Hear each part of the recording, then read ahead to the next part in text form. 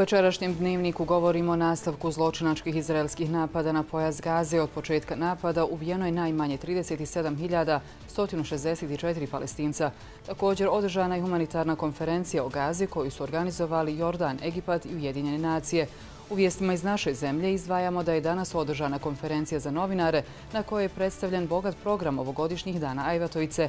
Tradicionalni maturalni dan danas je u Sarajevu okupio učenike generacije i odlične učenike medresa i gimnazija Islamske zajednice. U vijestima iz Islamske zajednice također izdvajamo da su otvorene dvije škole u Siriji, čiji su izgradnju nakon zemljotresa finansirali Merhamet i Rijaset Islamske zajednice u našoj domovini. Za nekoliko trenutaka više u dnevniku. Gledate Dnevnik Bir televizije.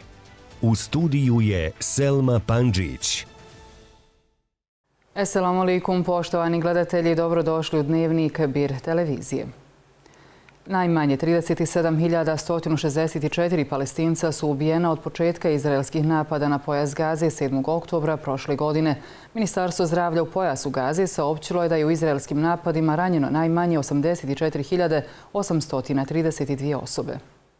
Izraelski zračni napadi nastavljaju se širom pojasa Gaze, a u posljednja 24 sata intenzivirani su napadi na sjeverni dio grada Gaze. Nezavisna istraga UN-a pokazala je da je Izrael tokom rata u Gazi počinio zločine protiv čovječnosti, uključujući zločin istrebljenja, zločin protiv čovječnosti uključujući istrebljenje, progon usmjeren na palestinske muškarce i dječake, prisilno razmještanje, mučanje i nečovječno okrutno postupanje. Navodi su istražne komisije u izvještaju koji bi naredne sedmice trebao biti biti predstavljen Vijeću Ujedinjenih nacija za ljudska prava. U saopćenju Ljekara bez granice navodi se da je Izrael od početka juna ubio više od 800 i ranio više od 2400 ljudi u Gazi. Broj ubijenih od 7. oktobra prošle godine porastao je na najmanje 37.164 palestinca, dok je ranjeno najmanje 84.832. Kuće, bolnice, škole, univerziteti, poljoprivreda, privreda uništeni su. Bombe stalno padaju, navodi su glasnogovornika UNICEF-a.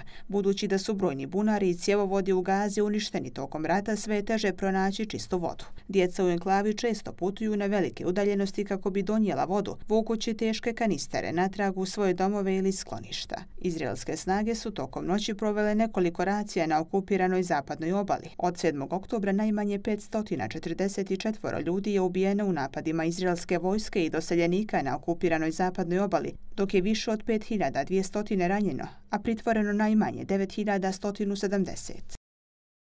Danas je održana konferencija za medije na kojoj je predstavljen ovogodišnji program manifestacije 514. dani Ajvatovice. U okviru manifestacije planirani su brojni vjerski sadržaj, promocije knjiga, predstave, izložbe, okrugli stolovi, tribine, sportske takmičenja i mnogi drugi sadržaji.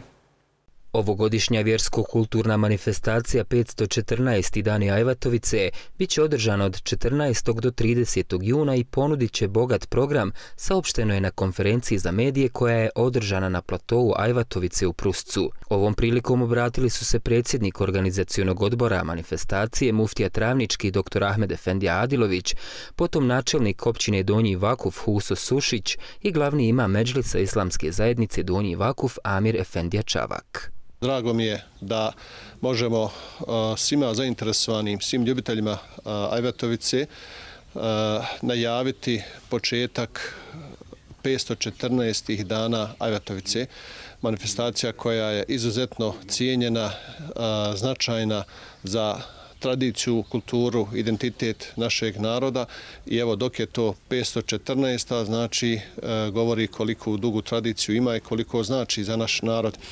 Također možemo da kažemo da ljubitelji Ajvetovice se okupljaju na ovim prostorima kada e, se realizuju ovi programski sadržaj iz e, svih e, krajeva naše domovine Bosne i Hercegovine, ali i izvan Bosne i Hercegovine. Imamo naših ljudi koji dolaze iz Evrope, iz Amerike, pa čak i iz Australije, a naravno imamo i drugih koji poput Turaka dolaze iz Turske, Mahsuzadi, Ajvetovice ili da učestvuju u njoj ili da prisustuju u svakom slučaju, ove godine možemo evo, sa radošću kazati i najaviti da će biti preko 60 programskih sadržaja, od kojih 29 kulturnih, 9 vjerskih, 9 sportskih, 8 edukativnih i 6 humanitarnih. Program svečanog otvaranja manifestacije planiran je za petak 14. juna ove godine u 19 sati na Musale u Pruscu, a centralni program biće upriličen u nedjelju 30. juna 2024. godine na platovu Ajvatovice s početkom u 11 sati. U okviru manifestacije planirani su brojni vjerski sadržaj, promocije knjiga, predstave, izložbe, okrugli stolovi, tribine, sportska takmičenja i mnogi drugi sadržaji, a ove godine posjetioci će imati priliku vidjeti više od 60 sadržaja. Općina Donji Vakuf, kao i obično, stala je i uz ovogodišnju Ajvatovicu. U, u Donje Vakuf je ovo, ne u Donje Vakuf, u Bosni i Hercegovini je jedna najveća manifestacija, a onda i Donje Vakuf se naravno mora odnositi prema tome e, prema toj ajve Turci onako kako ona zahtjeva. Dakle, posebno ovih godina zadnje smo imali e, velike investicijone radove kad su kada je pitanje Donje Vakuf, naravno i, i mislim na čitav Donje Vakuf, tako da je za obreznica kroz Donje Vakuf urađena ova prva faza, stvari privodi se kraju i to će tek promijeniti sliku grada Donjeg Vakfa. Pored toga, mi smo, rekao sam već, mi imamo ovu fazu e, gradnje ovog puta prema Šipinom mostu sam na, od platova Evetovce i to ćemo do kraja godine vjerovatno završiti ove dvije faze. Mi činimo sve da život našim sugrađanima prije svega učinimo ugodnijim, a naravno i svima gostima koji posjećaju Ajvatovicu. Ajvatovica je najveće dovište muslimana u Evropi i jedno od najstarijih u Bosni i Hercegovini, duboko ukorijenjeno u identitet Bošnjaka bošnjaka.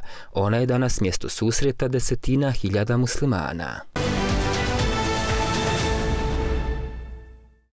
Članovi porodica žrtava stradali Bošnjaka Ljutočke doline okupili su se pred spomin obilježjem jama Bezdana na Hrgaru.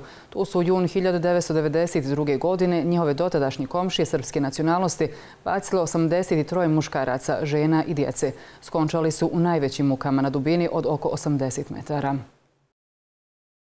U okviru manifestacije Ljutočka dolino nikad ne zaboravi kojom se obilježava 32. godišnjice ratnog zločina počinjenog 1992. nad bošnjacima bihačkih mjesnih zajednica, Orašac i Kulen Vakuf, članovi porodica žrtava, delegacije vlade Unsko-Sanskog kantona i grada Bihaća, bivši logoraši i građani, posjetili su jamu Bezdana na Hrgaru.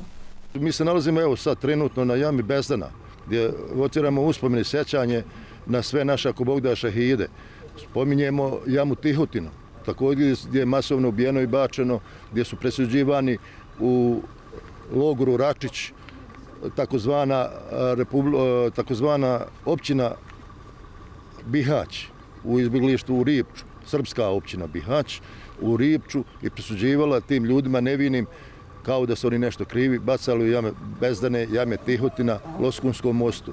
Naša poruka je ovdje da se nikad ne zaboravi kako i sama manifestacija nosi naziv Ljutočka dolina, nikad ne zaboravi i ne daj baš da se ponovi, a nadamo se da se neće ponoviti. Evo danas se po prvi put s nama su učenici svih osnovnih škola s područja grada Bihaća e, i oko 200 učenika je bilo, nadamo se da će ta naša budućnost zapamtiti ovo i znati o čemu se radi. Učenjem sure Jasin i polaganjem cvijeća odali su počast ubijenim bošnjacima protiranim iz Ljutočke doline početkom agresije na Bosnu i Hercegovinu. Optimizam budi prisustvo nekoliko desetina ili stotina mladih osoba koje su danas ovdje došle kako bi čuli istinu onome što se dešavalo u periodu agresije na Bosnu i Hercegovinu, koju, nažalost, niste u prilici da učite učbenicima iz historije i učbenicima iz povijesti. Ovdje niste došli da, da se u vas usadi mržnja, nego da bi se u vas ugradila spoznaja o tome što se događalo, kako biste vi kada dođete na scenu, kada budete i ministri, i gradonačelnici, uvijek imali na umu sjećanje na naše šehide. Mi smo danas tu da poručimo i onima koji su bili zalimi, koji su učinili ovaj zulum, da više ako Bog da nikada neće biti u takvoj prilici. Zašto?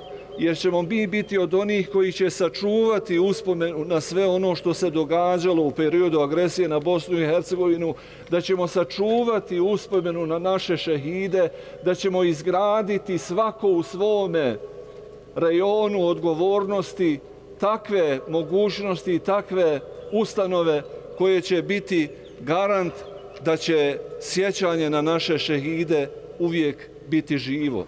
Žrtve su skončale u mukama na dubini od oko 80 metara. Među njima je bio i Džafer Mešić, čije posmrtne ostatke i danas traži njegova supruga Fata. On je rekao, sam Fat, paz mi djecu. Nemoj ni za čin suze, spustam mi djecu, paz sa mnom kako bude. I bio u Rujipču logor i čula sam da je prebacivalo ga u Račić i da ga vratilo u Rip, da je jedan Srbin rekao, otko ti ovdje? Pa veliki ostali ljudi, sam pofaćalo i dotjeralo ih i ona zadnja razmjena trebala biti, nije došlo, a tako je to bilo. Evo ni dan danas nema ništa.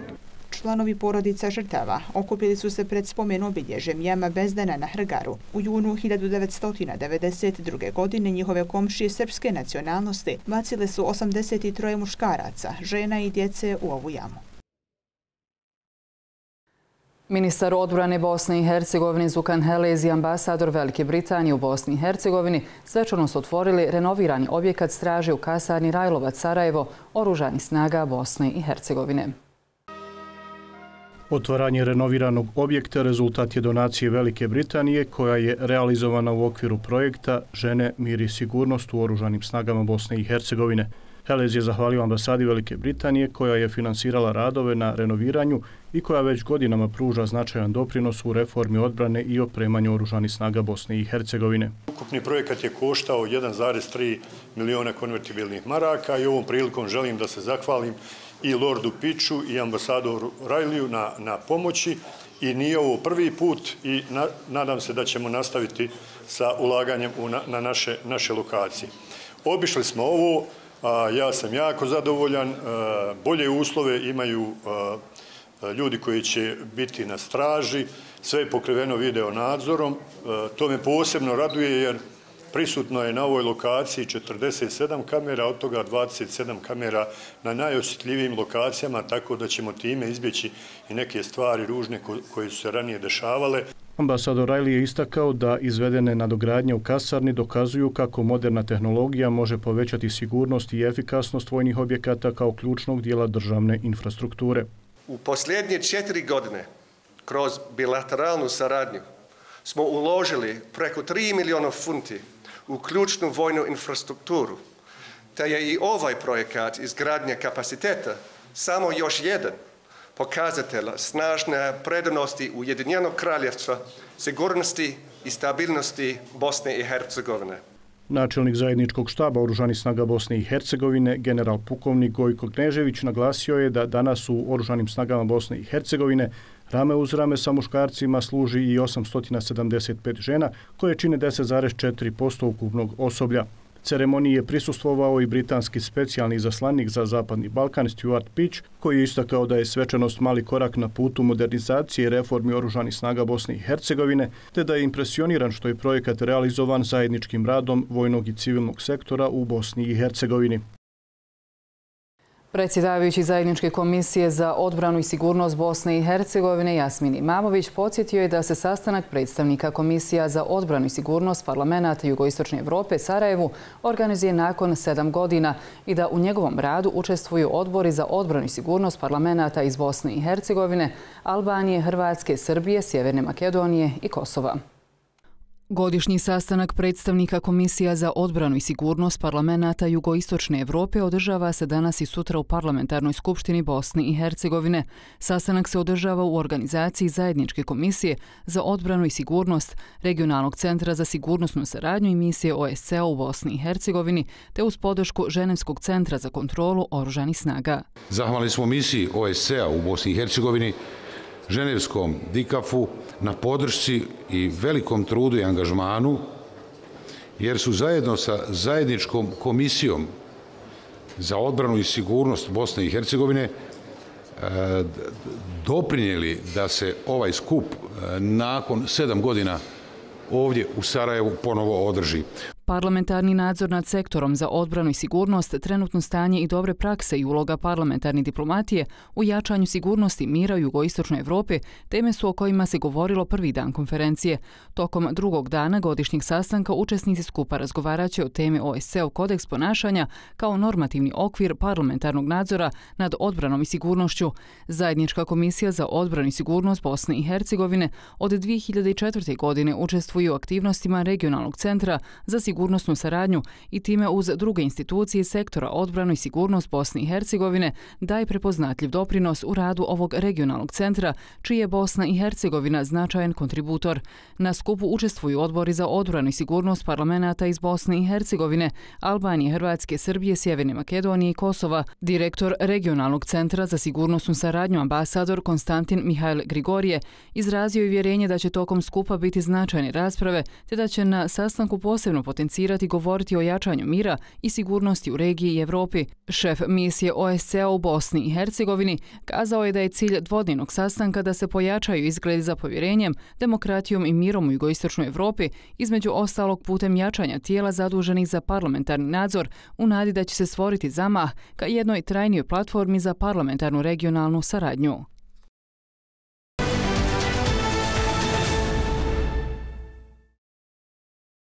Tradicionalni maturalni dan danas je u Sarajevu okupio učenike generacije i odlične učenike medresa i gimnazija Islamske zajednice. Uz učenike u svečanost su prisustvovali predstavnici Rijaseta Islamske zajednice, direktori medresa i gimnazija, razrednici, odgajatelji i drugi gosti. Uprava za nauku i obrazovanje Rijaseta Islamske zajednice u Bosni i Hercegovini organizovala je u Sarajevu tradicionalni svečani program promocije maturanata srednjoškolskih ustanova Islamske zajednice i dodjelu nagrade Resuleme učenicima generacije. Čestitke učenicima ovom prilikom je uputio zamjenik Resuleme profesor dr. Enes Efenije Ljevaković. On je učenicima generacije uručio i nagrade. Naravno čast je privilegija biti učenik medrese, završiti medresu i naravno to će na neki način obilježiti, obilježiti cijeli život ovih naših polaznika i sušenika naših, naših medresa. Naravno, u medresama su ovi naši maturanti i maturantice stekli potrebna znanja i životne mudrosti koji će ih kasnije voditi, voditi kroz život. Islamska zajednica sa svojim planom i programima u medresama da obrazuje, obrazuje i odgaja prije svega E, svjesni članova ovoga društva, svjesni članova ove naše zajednice. U prigodnom obraćanju direktor Uprave za obrazovanje i nauku profesor dr. Dževad Hođić naglasio je da su ponosni što se mogu pohvaliti rezultatima koji su postignuti u medresama i gimnazijama Islamske zajednice. Učenicima su se obratili dekani Fakulteta Islamske zajednice, dekan Fakulteta Islamskih nauka u Sarajevu, profesor dr. Mustafa Hasani, dekan Islamskog pedagoškog fakulteta u Zenici, profesor dr. Muharem Adilović i dekan Islamskog pedagoškog fakulteta u Bihaću, profesor dr. Hajrudin Hođić, naglašavaju naglašavajući da su upravo mladi koji su nosioci znanja naša budućnost. Amina Šuta, učenica generacije Karađozbegove medrese, izjavila je da medrese kao najstarije odgojno-obrazovne institucije imaju važnu ulogu u očuvanju identiteta Bošnjaka.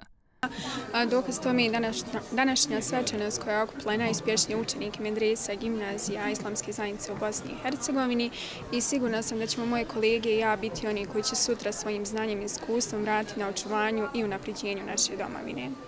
Učenica generacije medrese Res Ibrahim Efenija Maglajlić Neđva Sebaji naglasila je da je zahvala na svim trenucima kroz koje je prošla prethodne četiri godine u medresi. Zahvalna sam na svim trenucima kroz koje sam prošla u ove četiri godine u medresi. Vjerujem da nas je medresa naučila važnim životnim vrijednostima i iskreno se nadam da ćemo te vrijednosti čuvati čitav život. E, posebno me raduje činjenica da pripadam prvoj generaciji Banja Lučke medrese i da mi kao najmlađa medresa možemo prisustovati ovakvim programima. Direktor Behranbegove medrese u Tuzli, dr. Ahmed Efendija Hatunić, kazao je da će ovi mladi ljudi biti najbolji reprezenti svojih medresa, svoje islamske zajednice, svog naroda, svoje domovine. Ovo je prilika kada najbolji među učenicima medresa i gimnazija dobivaju priznanja, odnosno diplome kao učenici i učenice e, generacije. Ovo je e, svečani trenutak, ali e, također i trenutak kada ovi mladi ljudi otvaraju novu stranicu u svome životu i prave planove za svoje naredne korake, odnosno za nastavak školovanja i za njihove, njihove karijere. Podsjećamo i da je ove godine isprećena prva generacija maturanata Banja Lučke medrese, a njihov razrednik bio je profesor Admir Blitović. Kako istakao, bila mu je ukazana velika čast i sretan je što je bila povjerena prva generacija maturanata i maturantica da sarađuje sa njima i da se brine o njima. Na početku njihovog školovanja 2020. godine ovaj put je izgledao dug i mukotrpan. Međutim, sada kada smo izveli ovu generaciju, možemo vidjeti da je vrijeme jako brzo prošlo. Odgajateljica maturantica medrese Rejs Džemaludin Fenija Čaušević bila je profesorica Memnuna Dervić. E, što se tiče učenica medrese, medrese ove generacije, za njih mogu kazati da su bile izuzetno aktivne, da su bile e, lijepo odgojene. Dakle, svi učenici naših medresa su e, nose taj jedan lijepi, autentični, istinski, islamski odgoj koji je za nas muslimane mjerodavan i smjerom davan. Maturalnom danu 2024 prisustvovali su predstavnici Rijaseta Islamske zajednice, direktori medresa i gimnazija, učenici i učenice generacije, odlični učenici i učenice, njihovi razrednici, odgajatelji i drugi gosti. Ukupan broj učenika koji su pohađali medrese ove školske godine je 2856, maturanata medrese 639, odličnih je 283. Gimnaziju u Sarajevu i Zagrebu pohađalo je 521 učenik, 124 maturanta, od kojih je 97 odličnih. Muslimani širom svijeta u nedjelju obilježavaju Kurban Bajram, a rej Sulema Islamske zajednice u Bosni i Hercegovini Husein Efenije Kavazović dao je bajramski intervju za portal N1. U razgovoru rej Suleme se osvrnuo na značaj Kurban Bajrama, ali imao je posebnu poruku za političke lidere i narod u ovom burnom periodu. Na samom početku razgovora za N1, Rej Sulema osvrnuo se na religijsko utemeljenje i etičko značenje Kurban Bajrama, odnosno duhovnu povijest prinošenja žrtve kao i badeta. Kurban Bajram je u islamskoj tradiciji povezan sa obredom hađa i žrtvovanjem kurbana. Jedan i drugi obred vežu se za Ibrahima a.s. odnosno Abrahama ili Avrama, pravoca poslanika monoteizma. Zato je ovaj blagdan za muslimane inkluzivan. On nas povezuje sa poslanicima prije Muhammed a.s. ali i sa našim komšijama i prijateljima drugih vjerskih tradicija, kazao je Rej Sulema. Hadž je peta velika dužnost muslimana i obred koji nas podsjeća na naše ljudsko jedinstvo i naše zajedničko porijeklo od jednog muškarca i jedne žene, dodao je on. To je vrhunac manifestacije tevhida ili monoteizma, jer je Meka i sveti hram Kaba utemeljena kao utočište monoteista, onih koji su zbog vjere u samo jednog Boga bili proganjani širom svijeta, naveo je Rej Sulema. Na pitanje koliko smo svi uz povratnike širom Bosne i Hercegovine te kako funkcioniše sistem raspodjele kurbana u islamskoj zajednici, Rej Sulema Kavazović je kazao, islamska zajednica daje svoj skromni doprinos podršci povratnicima. Nerijetko su imami i džamija jedino oko čega se naši ljudi mogu okupljati. Često su jedina adresa za njihove brojne probleme koje zajednica ne može riješiti, ali mi smo uvijek bili i bit ćemo u svoj narod, pojasnio je Rejs. Kada je riječ o akciji Kurbani koju islamska zajednica godinama provodi, Resulema je kazao da je pokušaj zajednice da pomogne našim pripadnicima u izvršavanju ove obaveze, a u isto vrijeme da pomogne našim povratnicima od kojih se otkupljuje najveći broj tih kurbana. Neka bajramska poruka meni pa onda svima nama bude, ispravljajmo sebe prije nego počnemo ispravljati druge, zaključio je Resulema Husein Efendija Kavazović za N1. Selva Defendija Bajrić, imam džemata Baštra, već 20 godina ispraća na hađ svoje džematlije sa područja Međlisa Islamske zajednice Krupa. Ove godine džematlije su ispratile njega da prvi put među milionima muslimana širom svijeta bude predstavnik njihovog džemata i obavi hađ petu islamsku dužnost i tako kruniše svoje ibadete.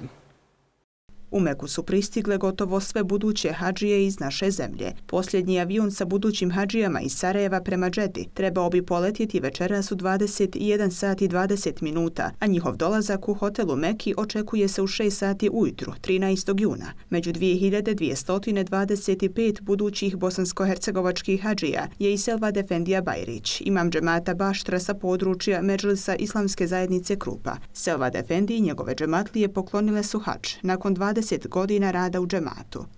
Ova nagrada je bila e, jedno veliko iznenađenje za mene e, iz razloga što nisam znao uopšte o čemu se radi. do momenta e, 12. rebila Evela, kada je glavni imam sa kolegama imamima organizirao centralnu mevlovsku svečanost u mome džematu i samim tim su onda obznanili meni informaciju da, da su odlučili da ove godine pošalju mene e, na hač. E, za mene je to bila jedna, jedan emotivni šok na početku i trebalo mi je da prođe jedno određeno vrijeme, da razumijem i da shvatim u stvari šta sam dobio. E, jer ogromna je ovo nagrada za mene lično, da budem počašćen da dođem na najsvetije mjesto na, na zemlji, puno znači. Ovom prilikom Selva Defendi je kazao kako u svom radu mlade stalno podsjeća na izvršenje obaveze hađa, ukoliko su to u mogućnosti. Trudimo se maksimalno da govorimo e, mlađoj populaciji da, da, da teži ka tome, da se pripremaju i da, da nije te u srcu da, da, da, da odu na, na, na taj ibadet, e, odnosno da obave hađ. E, s tim što eto, mi, mi imamo to nekako viđenje hađa, da, da, da ovo malo prije sam rekao, krunišemo i badati. I onda ti mlađi se e, drže kao u tom nekakvom strahu da, da im nije još vaka došao. U suštini vaka dođe kada se Allah pozove, ne kada, kada mi to odlučimo. Imamo mi puno više ljudi i mladih i sposobni od ovih naših neni majki koje su došle u, u, u, u, u tim visokim godinama da tako kažemo, onaj, i koje zaista s velikim naporom odrade, ali je e, nemjerljivo kada pogledate koliki trud ulažu da one to e, odrade e, samostalno, bez pomoći drugih, bez e, svih drugih mogućnosti koje im se naravno pružaju i šarijetom su dozvoljene. Oni se trude maksimalno da to urade e, svojim trudom, svojim zalaganjem, svojim radom. I to treba da bude podstrek i, i, i, i povod svima nama mlađima da, da e, e je ipak e, bitno da, da razmišljamo o tome da čim mlađi dođemo ovdje. Naše buduće hađije koje trenutno borave u Meki, pored ibadeta, vrijeme provode u različitim aktivnostima poput predavanja, druženja i drugih programa koje organizira Ured za hađ i umru. U gradovima Soran i Čoban Bej u Siriji, koji su teško razoreni u katastrofalnom zemljotresu, svečano su otvorene dvije osnovne škole, čiju su izgradnju finansirali muslimansko dobrotvorno društvo Merhamet i Rijaset islamske zajednice u Bosni i Hercegovini. Izgradnju ta dva školska objekta pomogli su i bosansko-hercegovački gradovi Visoko, Jajce i Travnik. Svečanom otvaranju škola prisustvovali su predsjednik Merhameta Kenan Vrbanjac, generalni sekretar Sidik Aždahić i gradonačelnik Visokog Mirza Ganić.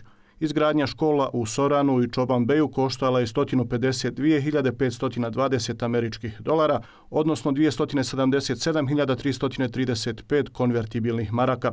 Merhamet je obezbijedio i sredstva za opremanje škola, odnosno kupovinu neophodnog školskog namještaja. Obje škole nose naziv Bosna i Hercegovina i zahvalnosti lokalnih vlasti i stanovništva tog područja prema našoj zemlji i njenim građanima koji su pokazali solidarnost prema žrtvama zemljotresa, kazao je Kenan Vrbanjac. Prema njegovim riječima, Kapacitet škole u Soranu je 1050 učenika, a škole u Čobanbeju 480 učenika. Prije tačno godinu dana, Merhamet je sa turskom partnerskom organizacijom IHH potpisao sporazum o izgradnji dvije pomenute škole, potom 42 kuće za preživjele žrtve zemljotresa, kao i jedne džamije. Vrijednost cjelokupnog projekta iznosi oko 3 miliona konvertibilnih maraka, od čega je Rijaset islamske zajednice u Bosni i Hercegovini obezbijedio 2,1 milion konvertibilnih maraka.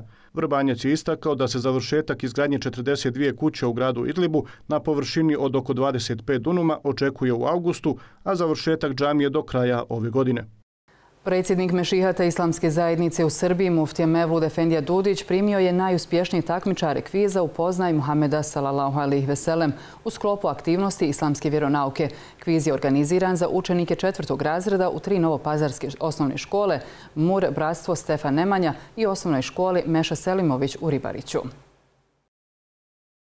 Predsjednik Mešihata istekao je značaj njihovog uspjeha i važnost izučavanja života najboljeg Allahovog poslanika. Mufti Dudić istekao je da proučavanje životopisa Muhameda sallallahu alaihi veselem otvara vrata mudrosti i duhovnog prosjetljenja, postičujući nas da stano težimo znanju i istini.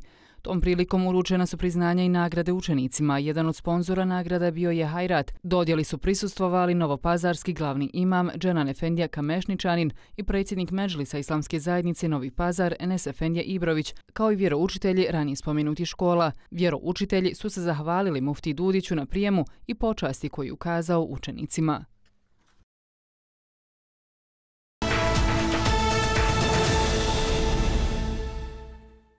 Izdavački centar Rijaseta Islamske zajednice u Bosni i Hercegovini Al-Kalem danas je u Gazi Husrebegovoj biblioteci u Sarajevu organizirao promociju knjige Bog je lijep, estetski doživljaj Kur'ana, autora Navida Kermanija.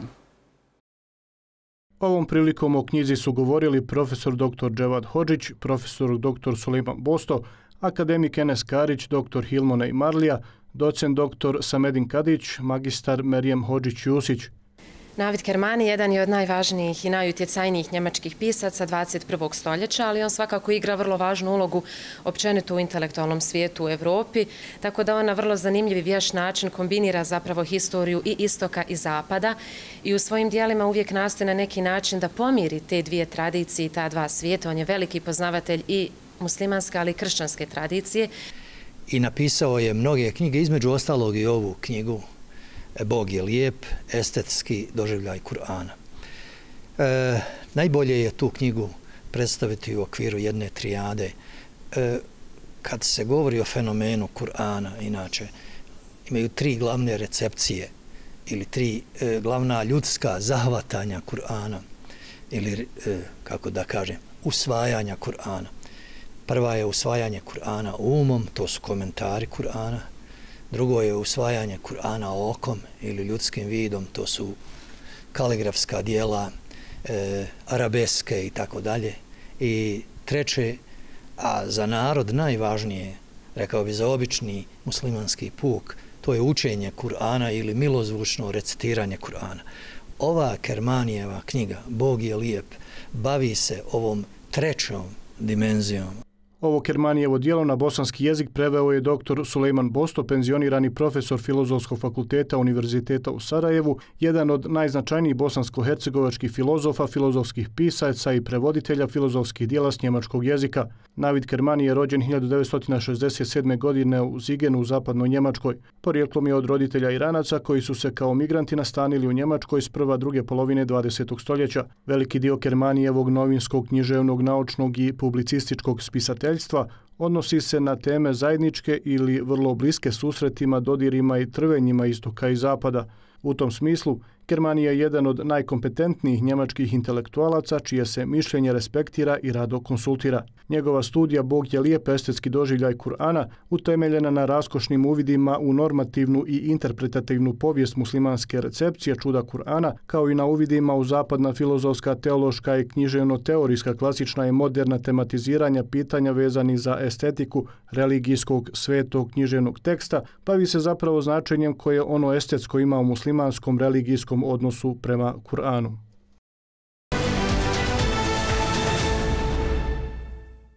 Učesnici konferencije o hitnoj pomoći za gazu pozvali su utorak na hitno zaustavljanje izraelskih vojnih operacija u palestinskoj enklavi i na održivo finansiranje Agencije UN-a za palestinske izbjeglice. Konferenciju pod nazivom Poziv na akciju, hitan humanitarni odgovor za gazu u Amanu organizirali su Jordan, Egipat i Ujedinjene nacije. Učesnici su naglasili neophodnost uspostavljanja trenutnog i trajnog prekida vatre koji moraju u potpunosti poštovati sve strane. Pozvali su i na hitno i bezuslovno oslobađanje svih talaca i civila koji su nezakonito zatočeni i naglasili važnost osiguravanja njihove sigurnosti i humanog postupanja prema međunarodnom pravu. Učesnici su zatražili prekid tekućih iz izraelskih vojnih operacija u Refahu u južnom dijelu pojasa Gaze i pozvali na provedbu privremenih mjera koje je naredio Međunarodni sud pravde. Također su naglasili potrebu za adekvatnim, održivim i transparentnim dugoročnim finansiranjem kako bi se UN-ova agencija za palestinske izbjeglice osnažila da efikasno ispunjava svoje dužnosti. Poštovani gledatelji, gledali ste dnevnik Bir televizije. U nastavku slijedi rubrika Bez komentara. Podsjećamo da sve sadržaje možete pogledati na našim društvenim mrežama. Ugodan ostatak večeri. Esselamu alaikum.